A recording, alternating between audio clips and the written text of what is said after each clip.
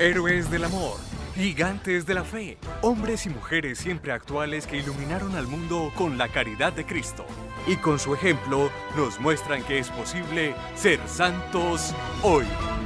El Santo del Día. San Amos, profeta del Antiguo Testamento.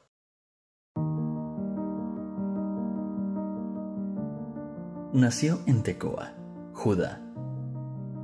Etimológicamente el nombre de Amos significa aquel que es fuerte. Era un joven campesino que cuidaba del rebaño y cultivaba. Un día fue llamado por el Señor para que profetizara en nombre de Dios y combatiera la corrupción moral y religiosa de Israel y así lo hizo durante los años del 762 al 750 a.C. Se distinguió por ser un mensajero fiel y de inmensa tenacidad, aún en medio de las adversidades. Fue intrépido defensor de la ley de Dios, especialmente en su lucha contra el culto al becerro de oro, erigido en Betel llegó a ser el primer profeta escritor. En su valioso legado, invitó al cambio de vida, dejando atrás la avaricia, las extorsiones, los fraudes y las idolatrías. Amos enseñaba también un camino de igualdad y equidad entre los hombres.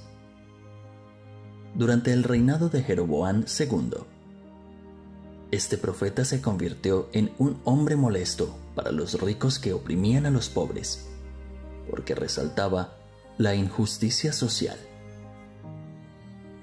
En su lenguaje profético, utilizó dos términos que se emplean en la actualidad y que le dan sentido a nuestra fe cristiana.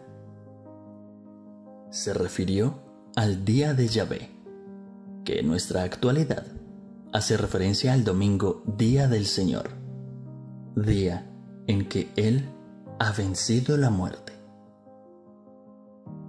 Y habló del resto, término con el que se quiere designar a una porción de israelitas fieles a Dios. Pero en nuestra actualidad hace referencia a todos los bautizados en Cristo Jesús. Este santo enfrentó toda persecución difamación y ultraje por parte de Amasías, sacerdote del becerro de oro de Betel. Enseñanzas para la vida.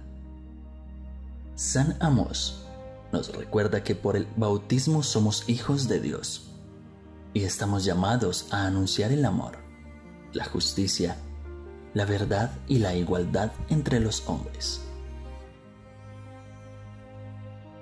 Oración por los profetas de hoy.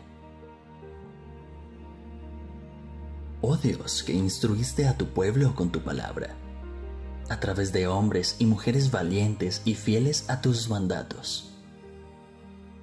Te presento la vida de todos aquellos que cumplen hoy.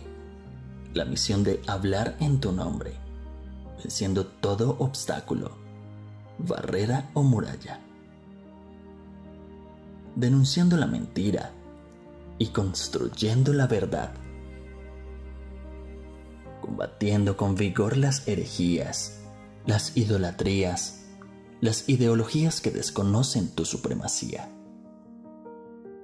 Señor, entiendo que su labor no es fácil. Estas intrépidas personas enfrentan cada día críticas, ingratitudes, persecuciones, envidias e incomprensiones. Señor, dame la capacidad de reconocerlos y valorarlos. El mundo actual necesita de tu palabra y solo por medio de estos profetas es posible que llegue a nosotros. Señor, danos oídos atentos, corazones abiertos y espíritu humilde Gracias Dios por todos estos hombres y mujeres que con su incansable labor dan esperanza y vida, iluminando nuestros corazones. Amén. ¿Sabías que puedes recibir los contenidos de Amén Comunicaciones en tu celular en tres pasos? Es muy fácil. Primero, descarga la aplicación de Telegram. Segundo, búscanos como Padre Carlos Yepes. Tercero, únete y empieza a disfrutar de todas nuestras producciones. Te esperamos.